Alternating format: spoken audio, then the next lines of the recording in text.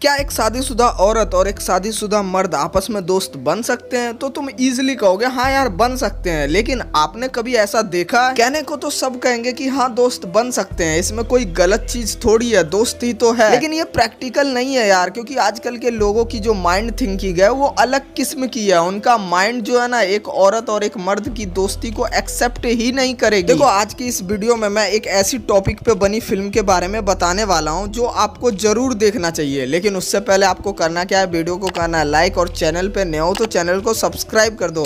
नीचे एक लाल कलर का बटन दिख रहा होगा, उसको दबा दो।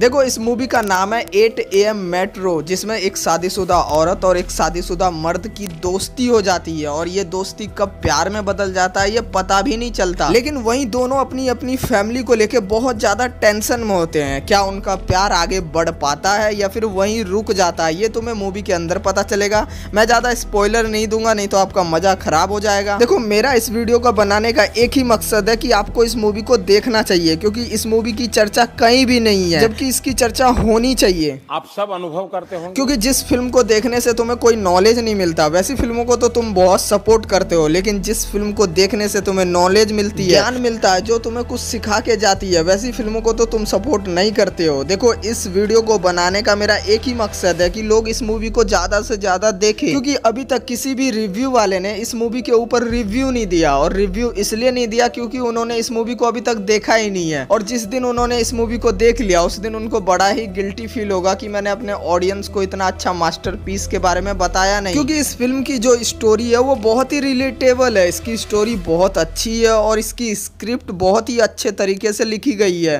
क्या बात है? इसकी कास्टिंग भी नेक्स्ट लेवल है। गुलशन देवैया क्या परफॉर्मेंस दिया है इन्होंने। इनकी जो एक्टिंग है वो एक्टिंग लगती ही नहीं है भाई। इतना रियलिस्टिक आई कांट बिलीव अभी जस्ट इनकी एक वेब सीरीज़ आई थी दहाड़। उसमें भी इनका खतरनाक परफॉर्मेंस था। साथ ही इसमें लीड एक्ट्रेस में जो है सयामी खैर, इन्होंने भी अपना बेस्ट परफॉर्मेंस दिया है। ऑल ओवर मूवी बहुत अच्छी है, ये आपका टाइम बिल्कुल भी बर्बाद नहीं करेगी तो जाके ज़रूर देखना। और वीडियो अच्छी लगी तो वीडियो को लाइक कर दो चैनल पे नए हो तो चैनल को सब्सक्राइब कर दो।